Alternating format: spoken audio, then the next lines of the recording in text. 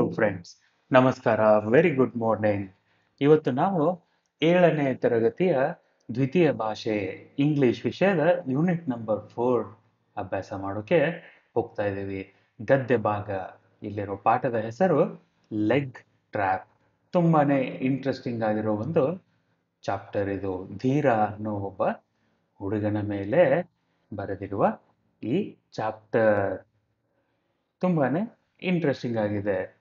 ಸರಿನಾ? ಮೊಟ್ಟ ಮೊದಲು ಯಾವಾಗಲೂ ಮಾಡೋ ನಿಮ್ಮ ಶೀರ್ಷಿಕೆಯ ಅರ್ಥ ಲೆಗ್ ಅಂದರೆ ಕಾಲು ಅಂತ ನಿಮಗೆ ಗೊತ್ತಾಗಿರುತ್ತೆ. ಟ್ರ್ಯಾಪ್ ಅಂದರೆ ಬಲೆ.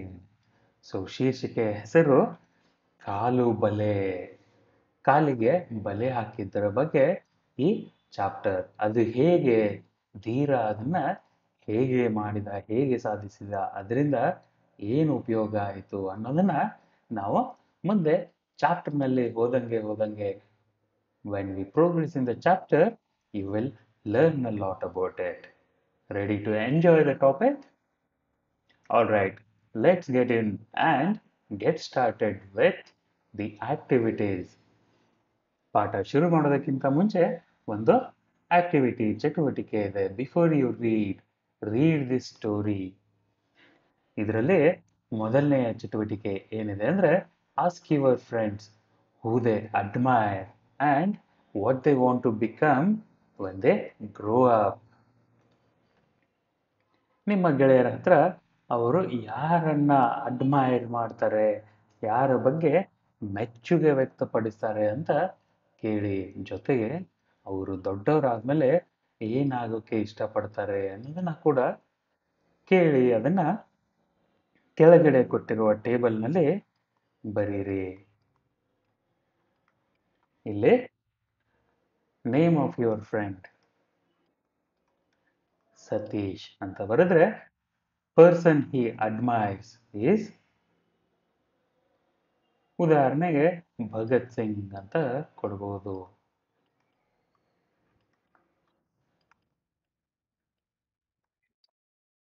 What he wants to become when he grows up. I want to serve in army ಭೂಸೇನೆಯಲ್ಲಿ ನಾನು ಸೇರಿಕೊಳ್ಳೋದಕ್ಕೆ ಇಷ್ಟಪಡ್ತೀನಿ ಅಂತ ಹೇಳ್ಬೋದು ಆ ಥರ ನೀವು ಕೆಲವೊಬ್ಬರಿಗೆ ಡಾಕ್ಟರ್ ಆಗುವ ಆಸೆ ಲಾಯರ್ ಆಗುವ ಆಸೆ ಹೀಗೆ ನಿಮ್ಮ ಗೆಳೆಯರೆಲ್ಲರನ್ನ ಒಂದು ಪುಸ್ತಕದಲ್ಲಿ ಅವರ ಹೆಸರು, ಅವರ ಹೆಸರಿನ ಮುಂದೆ ಅವರು ಮೆಚ್ಚುಗೆ ವ್ಯಕ್ತಪಡಿಸುವ ಒಬ್ಬ ನಾಯಕರ ಹೆಸರು ಅದಾದ್ಮೇಲೆ ಅವರು ದೊಡ್ಡವರಾದ್ಮೇಲೆ ಏನಾಗಕ್ಕೆ ಇಷ್ಟಪಡ್ತಾರೆ ಅನ್ನೋದನ್ನ ಬರೆದಿಟ್ಕೊಳ್ಳಿ. ಇದೊಂದು ಫ್ರೆಂಡ್ಲಿ ಆಕ್ಟಿವಿಟಿ ಸರಿನಾ? ಮುಂದೆ ಒಂದು ಅಮರ್ ಅನ್ನೋ ಹುಡುಗನ ಬಗ್ಗೆ ಸ್ಟೋರಿ ಇದೆ. ಅದನ್ನ ಓದೋಣ.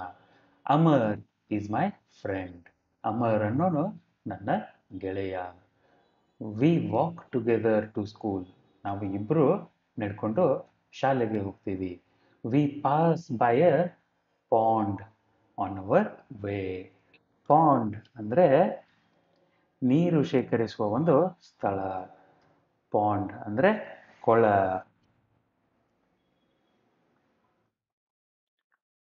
ಪಾಂಡ್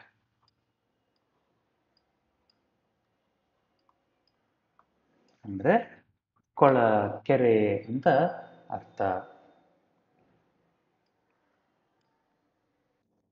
ಅವರು ಶಾಲೆಗೆ ಹೋಗ್ಬೇಕಾದ್ರೆ ದಾರಿಯಲ್ಲಿ ಒಂದು ಪಾಂಡ್ ಇದೆ. One evening when we were returning home from school ಒಂದು ಸಾಯಂಕಾಲ ನಾವು ಶಾಲೆಯಿಂದ ಮರಳಿ ಬರಬೇಕಾದ್ರೆ we saw baby drowning in the pond drown ಅಂದರೆ ನೀರಿನಲ್ಲಿ ಮುಳುಗುವುದನ್ನು ಡ್ರೌನ್ ಡ್ರೌನಿಂಗ್ ಅಂದರೆ ಮುಳುಗುತ್ತಿರುವ.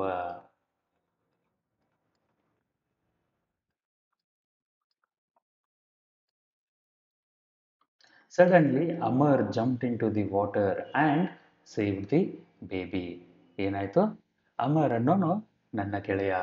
ನಾನು ಮತ್ತು ಅಮರ್ ಇಬ್ಬರು ಒಟ್ಟಿಗೆ ದಿನಾಲು ಶಾಲೆಗೆ ನೆಡ್ಕೊಂಡು ಹೋಗ್ತೀವಿ.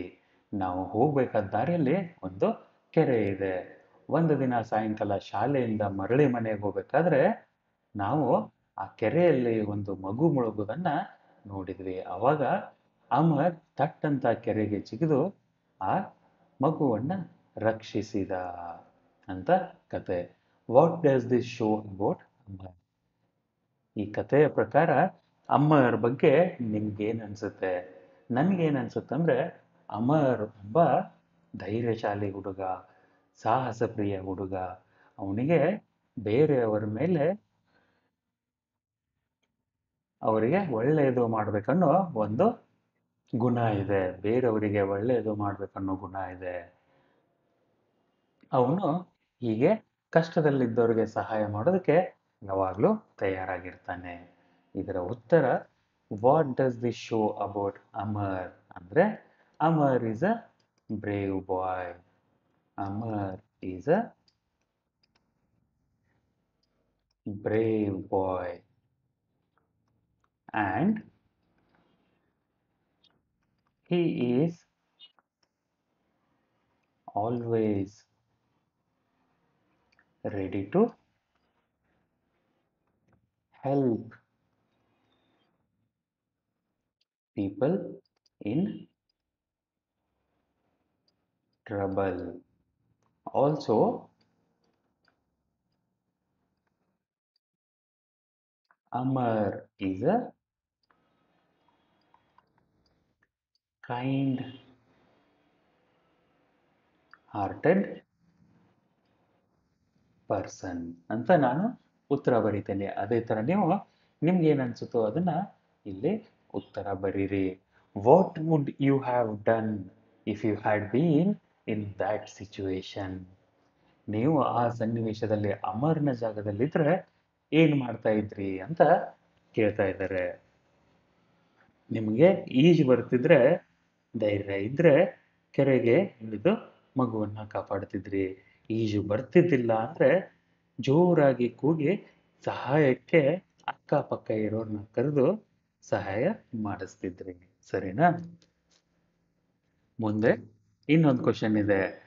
Write about a brave act of someone known to you and about two or four sentences ನಿಮಗೆ ಗೊತ್ತಿರೋರಲ್ಲೇ ನಿಮ್ಮ ಅಕ್ಕಪಕ್ಕ, ಸುತ್ತಮುತ್ತ ಮನೆಯಲ್ಲಿರೋರು ನಿಮ್ಮ ಗೆಳೆಯರಲ್ಲಿ ನಿಮ್ಮ ಬಂಧು ಬಳಗ ಕುಟುಂಬದಲ್ಲಿರೋರು ಯಾರಾದರೂ ಈ ಥರ ಶೌರ್ಯದ ಕೆಲಸ ಮಾಡಿದರೆ ಅವರ ಬಗ್ಗೆ ಒಂದು ನಾಲ್ಕು ಮಾತುಗಳನ್ನು ಬರೀರಿ. ಅವರು ಏನು ಕೆಲಸ ಮಾಡಿದರು, ಶೌರ್ಯದ ಕೆಲಸ ಮತ್ತು ಯಾವ ಸನ್ನಿವೇಶದಲ್ಲಿ ಮಾಡಿದರು ಅನ್ನೋದನ್ನ ಒಂದು ನಾಲ್ಕು ವಾಕ್ಯಗಳಲ್ಲಿ ಬರೀಬೇಕು. You can also start your narration with the sentence ನಿಮ್ಮ ನ್ಯಾರೇಷನ್ ಅಂದರೆ ನೀವು ಅದೇ ಥರ ನೀವು ಒಂದು ಕತೆ ಹೇಳ್ಬೇಕಂದ್ರೆ ನೀವು ಆ ಕಥೆಯನ್ನು ಹೇಗೆ ಶುರು ಮಾಡ್ತೀರಾ? ದ ಬಾಯ್ ವಾಸ್ ಅಂತ ಶುರು ಮಾಡ್ತೀರಾ ಅಂತ ಹೇಳ್ತಾ ಇದ್ದಾರೆ. ಇವೆರಡು ನಿಮ್ಮ ಹೋಮ್ವರ್ಕ್ಗೆ ಸರಿನಾ? ಇಂಗ್ಲೀಷಲ್ಲಿ ಮಾಡೋದಕ್ಕೆ ಪ್ರಯತ್ನ ಮಾಡಿ. ಲೆಗ್ ಟ್ರ್ಯಾಪ್ ಮನೋರಾಮ ಜಾಫಾ ಅನ್ನೋ ಒಬ್ಬರು ಬರೆದಿರುವ ಈ ಪಾಠ.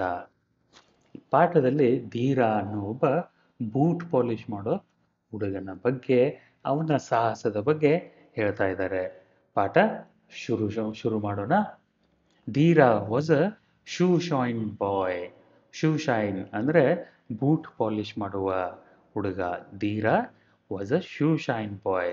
He lost his father when he was very young ಅವನು ಚಿಕ್ಕವನಿದ್ದಾಗ ಅವನ ತಂದೆ ತೀರಿ ಹೋದರು and live with his mother and sister ಅವನು ಅವನ ತಾಯಿ ಮತ್ತು ಸಹೋದರಿಯ ಜೊತೆ ಇದ್ದ.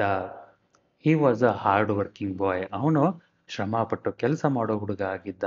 ಆಫ್ಟರ್ ಸ್ಕೂಲ್ ಶಾಲೆ ಮುಗಿದ ನಂತರ he would sit near a cinema hall theatre ಹತ್ರ ಸಿನಿಮಾ ಹಾಲ್ ಹತ್ರ ಕುಂತ್ಕೊಂಡು ಪಾಲಿಶ್ ಶೂಸ್ ಫಾರ್ ಲಿವಿಂಗ್ ಸಾಯಂಕಾಲ ಶಾಲೆ ಮುಗಿದಾದ್ಮೇಲೆ ಅವನು ಸಿನಿಮಾ ಥಿಯೇಟರ್ ಹತ್ರ ಕುಂತ್ಕೊಂಡು ಹೋಗೋ ಬರೋ ಜನರ ಶೂ ಪಾಲಿಶ್ ಮಾಡಿ ಒಂದಿಷ್ಟು ದುಡ್ಡು ಸಂಪಾದನೆ ಮಾಡ್ತಿದ್ದ. ಚೆಕ್ ಯುವರ್ ಅಂಡರ್ಸ್ಟ್ಯಾಂಡಿಂಗ್ ಇಲ್ಲಿ ಪ್ರಶ್ನೆಗಳಿದ್ದಾವೆ what is the name of the shoe shine boy Dheera D H I R A Dheera is the name of the shoe shine boy ಅಂತ ಉತ್ತರ ಬರೀತೀರಾ? Who was he living with Dheera was living with his mother and sister ಅಂತ ಉತ್ತರ ಬರೀತೀರಾ where did he sit to earn living Dheera used to sit near a cinema hall and polish the shoes of passerbys. ಅಂತ ಉತ್ತರ ಬರೀತೀರಾ? ಈ ಉತ್ತರನ ಹೀಗೂ ಕೂಡ ಬರೆಯಬಹುದು. He would sit near a cinema hall and polish shoes to earn his living ಅಂತ. Second ಪ್ಯಾರಾಗ್ರಾಫ್ನಲ್ಲಿ one day it was very hot ತುಂಬ ಶೆಕೆ ಇತ್ತು. Dheera sat under a tree counting his days earning ಅವತ್ತು ಶೆಕೆ ಇದ್ದಿದ್ದರಿಂದ ಧೀರ ಒಂದು ಮರದ ಕೆಳಗಡೆ ಕುಂತ್ಕೊಂಡು ಅವನ ದಿನದ ಸಂಪಾದನೆ ಅರ್ನಿಂಗ್ಸ್ ಅಂದರೆ ಸಂಪಾದನೆ. ಅರ್ನಿಂಗ್ಸ್ ಅಂದರೆ ಸಂಪಾದನೆ. ಅವತ್ತು ಒಂದು ಮರದ ಕೆಳಗಡೆ ಕುಂತ್ಕೊಂಡು ಅವನು ಆ ದಿನ ಸಂಪಾದಿಸಿದ ಹಣವನ್ನ ಎನಿಸ್ತಾ ಇದ್ದ. Humming a popular tune. Humming ಅಂದರೆ ಗುನುಗುನು ಅಂತ ಹಾಡ ಹಾಡು ಅಂತ ಅರ್ಥ. ಗುಯಿಗುಡು ಝೇಂಕರಿಸು ಅಂತ ಅರ್ಥ. ಹಮ್ಮಿಂಗ್ ಅಂದರೆ ಗುನುಗುಡು ಝೇಂಕರಿಸು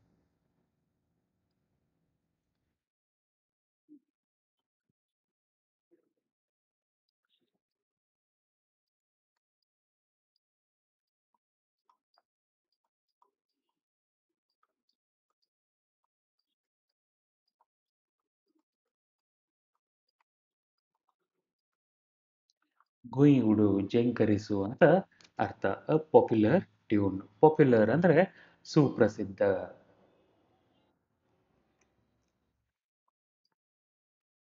ಪಾಪ್ಯುಲರ್ ಅಂದರೆ ಪ್ರಸಿದ್ಧ. ಟ್ಯೂನ್ ಅಂದರೆ ರಾಗ. E U N E tune ಅಂದರೆ ರಾಗ.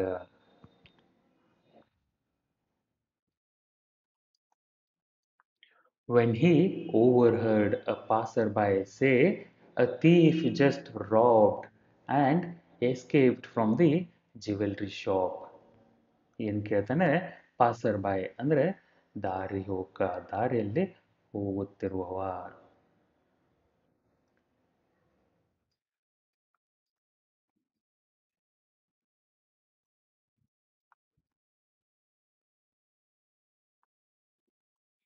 ದಾರಿಯಲ್ಲಿ ಹೋಗುತ್ತಿರುವ ಮನುಷ್ಯ ಓವರ್ ಹರ್ಡ್ ಅಂದರೆ ಕೇಳ್ಕೋ ಹರ್ಡ್ ಅಂದರೆ ಕೇಳು ಓವರ್ ಹರ್ಡ್ ಅಂದರೆ ಇನ್ನೊಬ್ಬರ ಜೊತೆ ಮಾತಾಡೋದನ್ನ ಕೇಳಿಸಿಕೊಂಡ. Say a thief has just robbed and escaped robbed ಅಂದರೆ ರಾಬ್ ಅನ್ನೋ ಶಬ್ದದ ಭೂತಕಾಲ. ರಾಬ್ ಅಂದರೆ ದರೋಡೆ and escaped from the jewellery shop jewellery ಅಂದರೆ ಆಭರಣ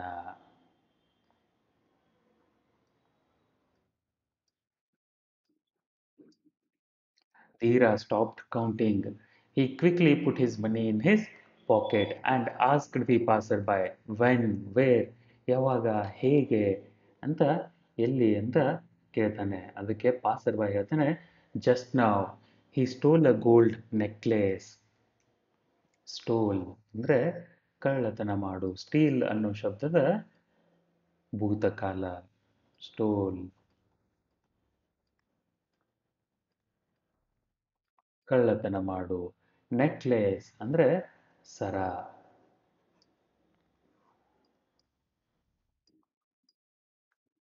And manage to run away run away ಅಂದರೆ ಓಡಿ ಹೋಗು. They say he has a beard beard ಅಂದರೆ ಗಡ್ಡ.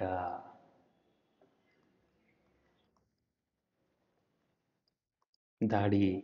So saying the passer by went on his way ಈ ಥರ ಹೇಳ್ತಾ ಆ ಮನುಷ್ಯ ದಾರಿ ಹೋಗ ಹೋಗ್ಬಿಟ್ಟ. Check your understanding what was Dheera doing when he was humming a tune. Bithira was counting his day's earning while humming a tune. ಅಂತ ಉತ್ತರ ಬರೀತೀರಾ ಎರಡನೇ ಪ್ರಶ್ನೆ what made him stop it what made him stop it ಅವನು ಹಣ ಎಣಿಸಿದ್ದ. ಯಾಕೆ ನಿಂತುಬಿಟ್ಟ? He stopped counting money when he overheard a passer by say thief has just robbed and escaped from the jewellery shop ಅಂತ ಉತ್ತರ ಬರೀತೀರಾ? ಇನ್ನೊಂದ್ಸರ್ತಿ ಎಲ್ಲ ಉತ್ತರ? ಗಮನ ಕೊಟ್ಟು ಕೇಳಿ. He stop counting money when he overheard a passer by say a thief just robbed and escape from the jewellery shop ಅಂತ ಹೇಳ್ತಾನೆ.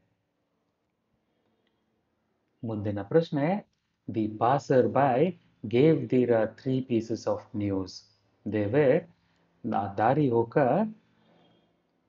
ಧೀರನಿಗೆ ಮೂರು ಸುದ್ದಿಗಳನ್ನ ಕೊಟ್ಟ. ಯಾವುದ್ಯಾವುದು ಮೊದಲನೆಯದು ದ್ಯಾಟ್ ಇಲ್ಲಿ ಇಲ್ಲಿ ಬರಿಬೇಕು. ಮೊದಲನೆಯದು ದ್ಯಾಟ್ ಅಂತ ನಾನು ಕಂಟಿನ್ಯೂ ಹೇಳ್ತೀನಿ. ನೀವು ಕೇಳ್ತಾ ಇರಿ. That thief escaped from the jewellery shop ಸರಿನಾ? Thief has a beard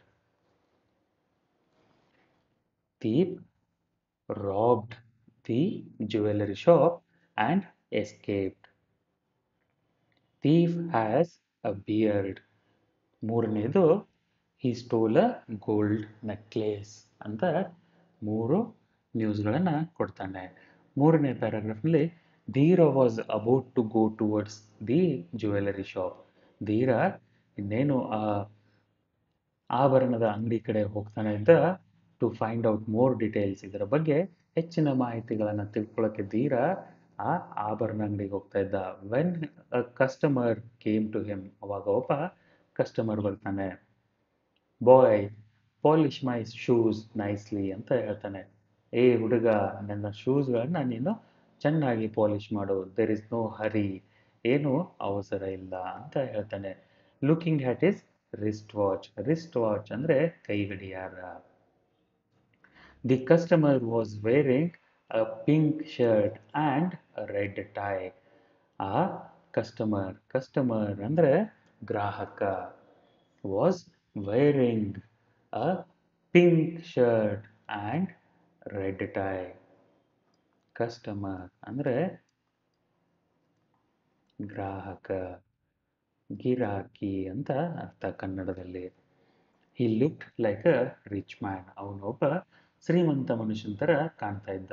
Dheera sat down immediately Dheera ತಕ್ಷಣ ಕುಂತ್ಕೊಂತಾನೆ ಟು ಪಾಲಿಶ್ ಈ ಶೂಸ್ ಆ ಮನುಷ್ಯನ, ಆ ಗ್ರಾಹಕನ ಶೂಗಳನ್ನು ಪಾಲಿಶ್ ಮಾಡಲು ಧೀರ ತಕ್ಷಣ ಕುಂತ್ಕೊಂತಾನೆ though his mind was still on the theft though his mind was still on the theft ಅವನ ಮನಸ್ಸು ಇನ್ನು ಅಲ್ಲಿ ನಡೆದ ಕಳ್ಳ ಕನ್ನಡ ಕಳ್ಳತನದ ಕಡೆಗೆ ಇತ್ತು. ಆದರೆ ಧೀರ ಅವನ ಕಸ್ಟಮರ್ ಶೂಸ್ ಪಾಲಿಶ್ ಮಾಡ್ಕೋದಕ್ಕೆ ಕೆಳಗಡೆ ಕೂತ್ಕೊತಾನೆ. The man first put his left foot on the stand shoe polish ಮಾಡೋ ಸ್ಟ್ಯಾಂಡ್ ಮೇಲೆ ಆ ಮನುಷ್ಯ ಮೊದಲು ಅವನ ಎಡಗಾಲನ್ನು ಇಡ್ತಾನೆ. With his yellow cloth Dheera dusted the shoe quickly Dheera ಅವನ ಹತ್ತಿರ ಇರೋ ಹಳದಿ ಬಣ್ಣದ ಬಟ್ಟೆಯನ್ನು ಉಪಯೋಗಿಸಿ ಆ ಶೂ ಮೇಲಿರುವ ಧೂಳನ್ನು ತೆಗಿತಾನೆ. Then he open a tin tin ಅಂದರೆ ಒಂದು ಕ್ಯಾನ್ ಥರ ಇರುವ ಒಂದು ಡಬ್ಬ ಅಂತ ಹೇಳ್ಬೋದು. ಟಿನ್ ಅಂದರೆ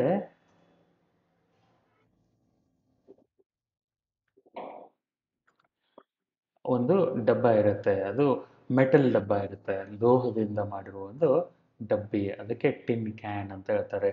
Took out some polish and smeared it on the shoe ಏನು ಮಾಡ್ತಾನೆ? ಆ ಟಿನ್ ಬಾಕ್ಸಿಂದ ಆ ಪಾಲಿಶನ್ನು ತೆಗೆದು ಈ smeared it S M E A R E smear ಅಂದರೆ ಲೇಪನ ಮಾಡು on the shoe using his brush and started shining the shoe Smear, smeared ಅಂದರೆ ಲೇಪಿಸು ಲೇಪನ ಮಾಡು ಹಚ್ಚು ಅಂತ ಅರ್ಥ. ಲೇಪನ ಮಾಡು ಹಚ್ಚು ಅಂತ ಅರ್ಥ. With his brush and started shining the shoe check your ಅಂಡರ್ಸ್ಟ್ಯಾಂಡಿಂಗ್ನಲ್ಲಿ ಪ್ರಶ್ನೆಗಳಿದ್ದಾವೆ who stop Dheera from going to the shop a customer stop Dheera from going to the shop ಆ ಕಳ್ಳತನವಾಗಿದ್ದ ಅಂಗಡಿಗೆ ಹೋಗೋದ್ರಿಂದ ಯಾರು ತಡೆದರು ಧೀರನ್ನ Dheera was stopped by a customer from going to the shop ಎರಡನೇ ಪ್ರಶ್ನೆ stranger asked Dheera to do his work slowly as he had a lot of, as he had a lot of time. ಅವನಿಗೆ ಅವಸರ ಇದ್ದಿದ್ದಿಲ್ಲ. ಅದಕ್ಕೆ ಅವನು ನಿಧಾನವಾಗಿ ಕೆಲಸ ಮಾಡುವಂತ ಧೀರನಿಗೆ ಹೇಳಿದ. What made the man look like a rich man the man was wearing a pink shirt and a red tie. That made the man look like a, look like a rich man.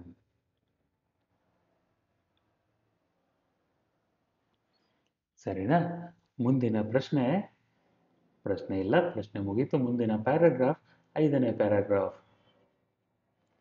through the corner of his eyes ಅಂದರೆ ಕಣ್ಣಂಚಿನಿಂದ, Dheera saw two policemen approaching approaching ಅಂದರೆ ಹತ್ತಿರ ಬರುವುದನ್ನು. Approach ಅಂದರೆ ಹತ್ತಿರ.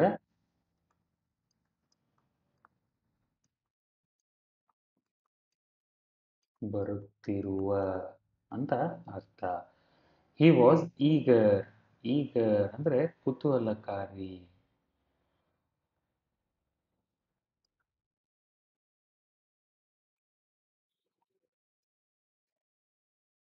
To ask them about the theft. ಆ ಪೊಲೀಸರ ಹತ್ರ ಹೇಗೆ ಕಳ್ಳತನ ಆಯಿತು ಅಂತ ಕೇಳೋದಕ್ಕೆ ಅವನು ಕುತೂಹಲಕಾರಿಯಾಗಿದ್ದ. ಉತ್ಸಾಹಿತನಾಗಿದ್ದ, ಕುತೂಹಲಕಾರಿ, ಆಸಕ್ತಿಯುತ.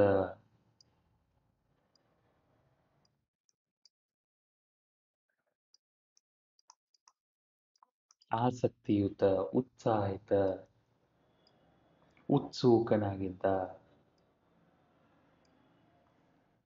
To ask them about the theft. But the customer seemed to have lost his temper. Lost his temper ಅಂದರೆ ಸಿಟ್ಟಿಗೆ ಬರುವುದು ಮುನ್ನ ಪೇಷನ್ಸನ್ನ ಕಳೆದುಕೊಂಡಿದ್ದ ಲಾಸ್ಟ್ ಈಸ್ ಟೆಂಪರ್ ಅಂತ ಅಂದರೆ ಸಿಟ್ಟಿಗೆ ಬಾ ಪೇಷನ್ಸ್ ಅಂದರೆ ಅವನ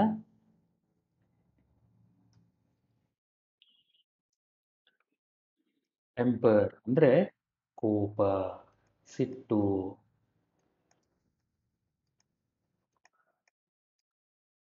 You silly boy you are not doing job well you silly boy you are not doing your job well ಅಂತ ಕಸ್ಟಮರ್ ಅವನ ಮೇಲೆ ಗದರ್ತಾನೆ ಸಿಲ್ಲಿ ಅಂದರೆ ಪೆಜ್ಜ, ದಡ್ಡ.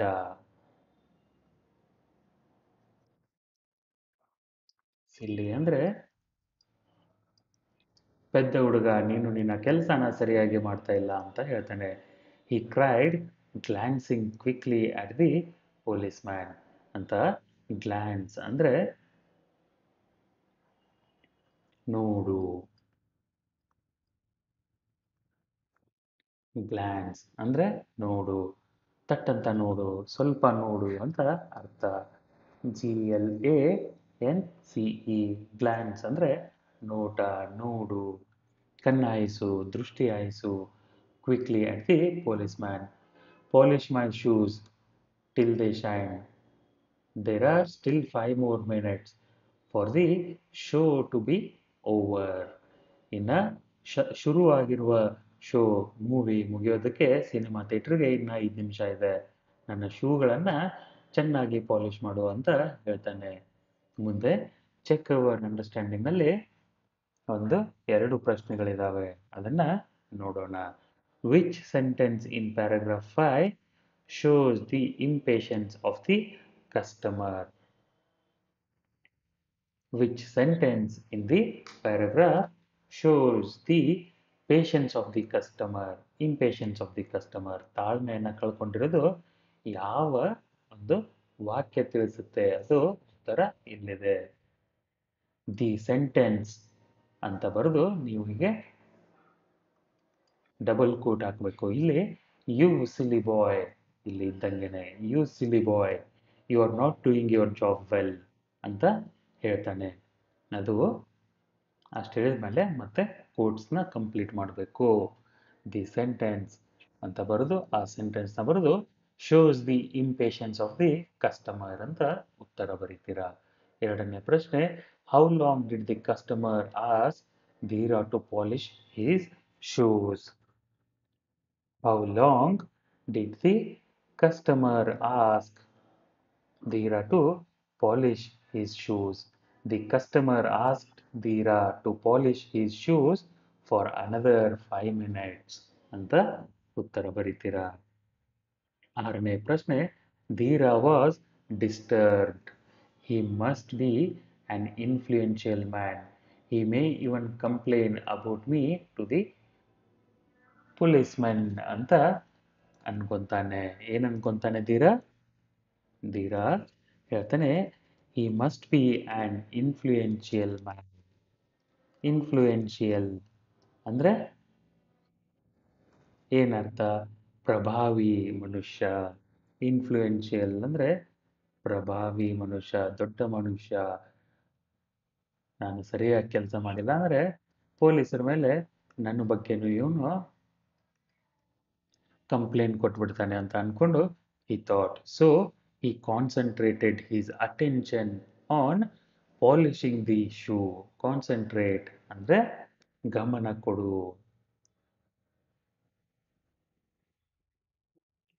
ಕಾನ್ಸಂಟ್ರೇಟೆಡ್ ಅಂದ್ರೆ ಗಮನ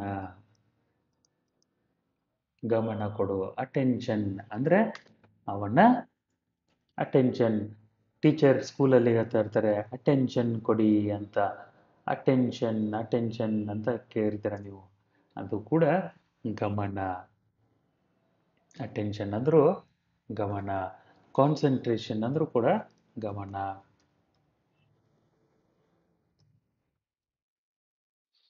ಕಾನ್ಸಂಟ್ರೇಷನ್ ಇದಕ್ಕೆ ಇನ್ನು ಒಂದು ಅರ್ಥ ಏನಂದ್ರೆ ಏಕಾಗ್ರತೆ ಅಂತ ಅರ್ಥ. ಕಾನ್ಸಂಟ್ರೇಷನ್ಗೆ ಈ ವಾಕ್ಯದಲ್ಲಿ ಏಕಾಗ್ರತೆ ಅಂತ ಬರೀಬಹುದು ಅಟೆನ್ಷನ್ ಅಂದ್ರೆ ಗಮನ. On polishing the shoe as soon as he was done with the left shoe Dhira said the other shoe, sir. ಎಡಗಾಲಿನ shoe polish ಮಾಡೋದು ಮುಗಿದ ತಕ್ಷಣ ಧೀರ ಏನತ್ತೇನೆ ದಿ ಅದರ್ ಶೂ, ಸರ್. ಇನ್ನೊಂದು ಬೇರೆ ಶೂ, ಸರ್, ಅಂತ ಹೇಳ್ತಾನೆ. The man put his other foot on the stand. ಅವಾಗ ಮನುಷ್ಯ ಸ್ಟ್ಯಾಂಡ್ ಮೇಲೆ ಅವನ ಇನ್ನೊಂದು ಕಾಲನ್ನ ಇಡ್ತಾನೆ. ಅವಾಗ, hurry up fellow there are only two more minutes for the show to begin ಅವಸರ ಮಾಡು ಹುಡುಗ. ಇನ್ನು ಮೂವಿ ಸ್ಟಾರ್ಟ್ ಆಗೋದಕ್ಕೆ ಬರೀ ಎರಡು ನಿಮಿಷ ಇದೆ ಅಂತ ಹೇಳ್ತಾನೆ. ಅದಕ್ಕೆ ಧೀರ ಅನ್ಕೊಂತಾನೆ ಫನಿ ಫನಿ ಅಂದರೆ ನಗೆ ಬರಿಸುವ ಹಾಸ್ಯಭರಿತ funny Dhira said to himself a moment ago he was in no hurry but now he is in a great hurry ಕೆಲವೇ ಕ್ಷಣಗಳ ಹಿಂದೆ ಅವನು, ಏನು ಅವಸರ ಇಲ್ಲ, ಅವ ಆರಾಮಾಗಿ ಮಾಡೋ ಕೆಲಸ ಅಂತ ಹೇಳ್ತಿದ್ದ. ಇವಾಗ ನೋಡಿದ್ರೆ ಅವಸರ ಮಾಡು ಅಂತ ಹೇಳ್ತಾ ಇದ್ದಾನೆ. ಎಷ್ಟೊಂದು ಜೋಕಿಂಗ್ ಇದ್ದಾನೆ ಅವನು ಮನುಷ್ಯ ಅಂತ ಧೀರ ಅವನಷ್ಟಿಗಷ್ಟೇ ಅನ್ಕೊಂತಾನೆ Dhira dusted the shoe quickly and applied some polish to it As he was about to shine it with the cloth he found something sticking out of it at the back ಯಾವಾಗ ಅವನು ಆ shoe ಅನ್ನ polish ಮಾಡೋದಕ್ಕೆ ಶುರು ಮಾಡ್ತಾನೋ ಅಷ್ಟೊತ್ತಿಗೆ ಆ shoe ಇಂದ ಏನೋ ಹೊರಗಡೆ ಜೋತು ಬಿದ್ದದನ್ನ ನೋಡ್ತಾನೆ what can it be Dhira wondered he bent his head to take a closer look my goodness ಅಂತ ಹೇಳ್ತಾನೆ. ಅವಾಗ ಧೀರ ಅದು ಅಂತ ಅಂದ್ಕೊಂಡು ಒಂಚೂರು ಬಗ್ಗಿ ಆ ಶೂ ಇಂದ ಹೊರಬಂದಿರೋ ವಸ್ತುವನ್ನ ನೋಡ್ತಾನೆ. ಅವಾಗ ಮೈ ಗುಡ್ನೆಸ್ ಅಂತ ಒಂದು ಉದ್ಗಾರ ಮಾಡ್ತಾನೆ. ಒಂದು ಅವನ ಭಾವನೆಯನ್ನ ವ್ಯಕ್ತಪಡಿಸ್ತಾನೆ. ಆವಾಗ ಆ ಕಸ್ಟಮರ್ ಹೇಳ್ತಾನೆ that will do boy it's time shoe polish ಮುಡುಗು ಮಾಡೋದು ಮುಗಿದಾದ್ಮೇಲೆ ಕಸ್ಟಮರ್ ಹೇಳ್ತಾನೆ, ಸಾಕು ಬಿಡು ಹುಡುಗ, ಇಷ್ಟು ಸಾಕು ಅಂತ ಹೇಳಿ the man said taking his foot off the stand Dhira continued to shine the shoe with the cloth while the man fumbled in his wallet for change fumble F U M B L E F U M B L E fumble ಅಂದರೆ ಏನು ಕನ್ನಡದಲ್ಲಿ? ಮುಗ್ಗರಿಸು ಅಂತ ಅರ್ಥ. Fumbled in his wallet for change ಅವನು, ಅವನ wallet ಅಂದರೆ ಪರ್ಸ್ನಲ್ಲಿರೋ ದುಡ್ಡನ್ನು ಹುಡುಕ್ತಾನೆ ಕಾಯಿನ್ಸ್ಗಳನ್ನು ಹುಡುಕ್ತಾನೆ. The boy quickly tied the ends of the laces of the two shoes ಅವಾಗ ಧೀರ ಏನು ಮಾಡ್ತಾನೆ, ಅವನ ಕಾಲಿನ ಎರಡೂ ಬೂಟ್ಗಳ ಲೇಸ್ಗಳನ್ನು ಒಟ್ಟಿಗೆ ಕಟ್ಟಾಕ್ಬಿಡ್ತಾನೆ and got up without taking the coin the man held out ಅವಾಗ ಅವನು ಧೀರ ಎದ್ದು ನಿಂತು ಎದ್ದು ನಿಂತೋಕ್ಕಿಂತ ಮುಂಚೆ ಆ ಕಾಯಿನ್ ಆ ಮನುಷ್ಯ ಕಸ್ಟಮರ್ ಕೊಡಲು ಬಂದಿರುವಂಥ ಚೇಂಜನ್ನು ತಗೊಳ್ದೇನೆ ಹಾಗೆ ಎದ್ದು ನಿಂತಿರ್ತಾನೆ. And rushed to the police man and rushed to the police man he could hear the man yelling, Hey, I'll get you, but what's happening? ಅಂತ ಹೇಳ್ತಾನೆ. ಅವಾಗ ಒಂಬತ್ತನೇ ಪ್ಯಾರಾಗ್ರಾಫ್ನಲ್ಲಿ ಏನಾಗುತ್ತೆ? The boy quickly tied the tied the ends of the laces of the two shoes and got up without taking the coin ಹುಡುಗ ತಟ್ಟಂತ ಎದ್ದು ಪೊಲೀಸರ ಹತ್ರ ಹೋಗಿ ಓಡೋಗ್ತಾನೆ he could hear the man yelling ಅವಾಗ ಈ ಕಸ್ಟಮರ್ ಕಿರಿಚ್ತಾ ಇರೋದನ್ನು ನೋಡ್ತಾನೆ. ಹೇ ಐ ಗೆಟ್ ಯು ಬಂದೇ ಇರು, ನಾನು ನಿನ್ನನ್ನು ಹಿಡ್ಕೊತೇನೆ. ಬಟ್ ವಾಟ್ಸ್ ಹ್ಯಾಪ್ನಿಂಗ್ ಏನಾಗ್ತಾ ಇದೆ ಅಂತ ಕೇಳ್ತಾನೆ. The man fell flat on his face fell flat ಅಂದರೆ ಮುಗ್ಗರಿಸಿ ಬಿದ್ದು ಬಿಡ್ತಾನೆ ಆನ್ ಹಿಸ್ ಫೇಸ್ ಅಂದರೆ ಮುಖ ಕೆಳಗೆ ಮಾಡ್ಕೊಂಡು ಬೀಳ್ತಾನೆ. When he try to walk ನಡಿಬೇಕಾದ್ರೆ ಅವನು ಬಿದ್ದು ಬಿಡ್ತಾನೆ ಯಾಕಂದರೆ ಅವನ ಶೂಗಳ ಎರಡು ಲೇಸ್ಗಳನ್ನ ಒಟ್ಟಿಗೆ ಕಟ್ಬಿಟ್ಟಿದ್ದ Dhira. While he was struggling to get up ಅವನು ಯಾವಾಗ ಎದ್ದಿಲ್ಲೋಕೆ ಕಷ್ಟಪಡ್ತಿದ್ನೋ, Dhira was back with the two police man Dhira ಅಷ್ಟೊತ್ತಿಗೆ ಆ ಇಬ್ಬರು ಪೊಲೀಸರನ್ನ ಕರ್ಕೊಂಡು ಬಂದಿದ್ದ. The caught hold of him ಅಂದರೆ ಆ ಮನುಷ್ಯನನ್ನು ಅವರು ಹಿಡ್ಕೊಂಡು ಬಿಡ್ತಾರೆ ಹನ್ನೊಂದನೇ ಪ್ಯಾರಾಗ್ರಾಫ್ನಲ್ಲಿ yes he was the jewel thief ಅವನೇ ಆ ಆಭರಣದ ಕಳ್ಳ ಆಗಿದ್ದ ಆ ಮನುಷ್ಯ ಶೂ ಪಾಲಿಸ್ ಮಾಡ್ಕೊಳ್ಳೋಕ್ಕೆ ಬಂದಿರೋ ಆ ಮನುಷ್ಯ ಆಭರಣದ ಕಳ್ಳ ಆಗಿದ್ದ ಹನ್ನೆರಡನೇ ಪ್ಯಾರಾಗ್ರಾಫ್ನಲ್ಲಿ the gold necklace was found in his shoe ಆ ಬಂಗಾರದ ಚಿನ್ನದ ನೆಕ್ಲೆಸ್ ಸರ ಅವನ ಶೂನಲ್ಲಿ ಸಿಕ್ಕಿತು ಮತ್ತು ಅವನ ನಕಲಿ ದಾಡಿ, ಬಿಯರ್ಡ್ ಗಡ್ಡ ಪಾಕೆಟಲ್ಲಿ ಸಿಕ್ಕಿತು. He was taken to the police station ಹದಿಮೂರನೇ ಪ್ಯಾರಾಗ್ರಾಫ್ನಲ್ಲಿ of course Dhira was praised for his presence of mind ಅವನ ಮನಸ್ಸು ಹೇಗೆ ಅವಾಗ ಕೆಲಸ ಮಾಡ್ತು ಅನ್ನೋದನ್ನ ಸನ್ನಿವೇಶದಲ್ಲಿ ಹೇಗೆ ಅವನು ಚತುರತೆಯಿಂದ ಕೆಲಸ ಮಾಡಿದ ಅನ್ನೋದನ್ನ ಎಲ್ಲರೂ ಕೊಂಡಾಡಿದರು. ಪ್ರೇಸ್ ಅಂದರೆ ಕೊಂಡಾಡು, ಹೊಗಳು. ಹಿ ವಾಸ್ ಆಲ್ಸೋ ರಿವಾರ್ಡೆಡ್ ಅಂದರೆ ಅವನಿಗೆ ಒಂದಿಷ್ಟು ಬಹುಮಾನಗಳನ್ನು ಕೊಟ್ಟರು by the police and by the jeweller ಆ ಆಭರಣದ ಅಂಗಡಿಯ ಮಾಲೀಕ ಕೂಡ ಒಂದಿಷ್ಟು ಬಹುಮಾನಗಳನ್ನು ಧೀರನಿಗೆ ಕೊಡ್ತಾನೆ. ಈ school too honoured him with a medal for his bravery ಅವನ ಶಾಲೆಯಲ್ಲಿ ಕೂಡ ಅವನಿಗೆ ಈ ಶೌರ್ಯದ ಕೆಲಸ ಮಾಡಿದ್ದಕ್ಕೆ ಒಂದು ಮೆಡಲ್ ಕೊಟ್ಟು ಪುರಸ್ಕರಿಸಿದರು ಅಂತ ಹೇಳ್ತಾರೆ. ಇಲ್ಲಿಗೆ ನಿಮ್ಮ ಪಾಠ ಮುಗೀತು. ಮುಂದೆ ವೊಕ್ಯಾಬ್ಲರಿಗೆ ಹೋಗೋದಕ್ಕಿಂತ ಮುಂಚೆ ಚೆಕ್ ಯುವರ್ ಅಂಡರ್ಸ್ಟ್ಯಾಂಡಿಂಗ್ ಅಂತ ಒಂದು ಸೆಕ್ಷನ್ ಇದೆ. ಬಾಕ್ಸಲ್ಲಿ ನಿಮಗೆ ಕಾಣ್ತಾ ಇದೆ ಇವಾಗ. ಚೆಕ್ ಯುವರ್ ಅಂಡರ್ಸ್ಟ್ಯಾಂಡಿಂಗ್ ಇಲ್ಲಿ ಮೊದಲನೇ ಪ್ರಶ್ನೆ what did Dhira find in the shoes what did Dhira find in the shoes Dhira found something sticking out of the customer's shoes, which happened to be a gold necklace stolen from the jewelry shop. ಅಂತ ಉತ್ತರ ಬರೀತೀರಾ ಎರಡನೇ ಪ್ರಶ್ನೆ where was the beard of the thief the beard of the thief was found in his pocket ಅಂತ ಉತ್ತರ ಬರೀತೀರಾ ಮೂರನೇ ಪ್ರಶ್ನೆ how did Dhira make the thief fall. Dhira quickly tied the ends of the laces of the two shoes. When the thief tried to walk, he fell on his face ಅಂತ ಉತ್ತರ ಬರೀತೀರಾ? ಸರಿನಾ? ಇವಾಗ ಮುಂದೆ vocabulary ಪಾರ್ಟ್ನಲ್ಲಿ complete the story using the words given in brackets ಅಂತ ಇದೆ. ಕೆಳಗಡೆ ಇಲ್ಲಿ ಬ್ರಾಕೆಟ್ ಅಲ್ಲಿ ನಿಮಗೆ ಒಂದಿಷ್ಟು ಶಬ್ದಗಳನ್ನು ಕೊಟ್ಟಿದ್ದಾರೆ. ಈ ಶಬ್ದಗಳನ್ನು ಉಪಯೋಗಿಸಿ ಈ ಒಂದು ಸ್ಟೋರಿ ಕಥೆಯನ್ನು ನೀವು ಪೂರ್ಣಗೊಳಿಸಬೇಕು. ಇದನ್ನ ಓದೋಣ two women who were on their morning walk were fumbled ಅಲ್ಲ ಗ್ಲಾನ್ಸ್ಡ್ ಅಲ್ಲ ಟೆಂಪರ್ ಅಲ್ಲ ಸ್ಟಾಪ್ಡ್ ಅಲ್ಲ ಥೆಫ್ಟ್ಸ್ ಅಲ್ಲ ಶೌಟೆಡ್ ಅಲ್ಲ stopped